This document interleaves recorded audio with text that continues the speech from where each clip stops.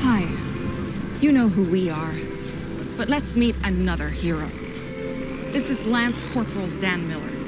Dan and the other brave Marines of 2nd Battalion are helping keep you safe from the supervillain threat. We're proud to fly alongside them. And now we could use your support. That's right, Maeve. With our new campaign, Saving America. Here I go, you guys. Wish me luck.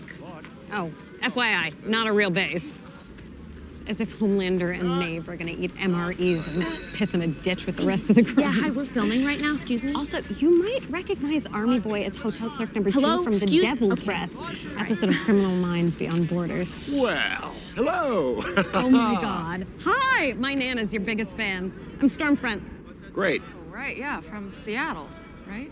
Uh, Portland, actually. Your uh, Highness. Holy shit. Your eyes are really fucking blue up close. you are fun. It's been a hoot, but we got work to do, so let's get back to it. oh, totally. Uh, they just wanted me to meet you. Who? Oh, the boys on 82. I'm the new girl. Wait, what are you talking about? Oh, hi. I'm in the seven. Replacing translucent. God bless his soul. Ink's barely dry, but uh, yeah, reporting for duty. So, fuck yeah. Um, no, I don't think that this is. It's not true. I don't know anything about this. Wow. Well, uh, Stormfront. Who delivered the good news? Oh, uh, Mr. Edgar, the big guy? Wonderful. Great. All right. Great. Well, I think this is going great.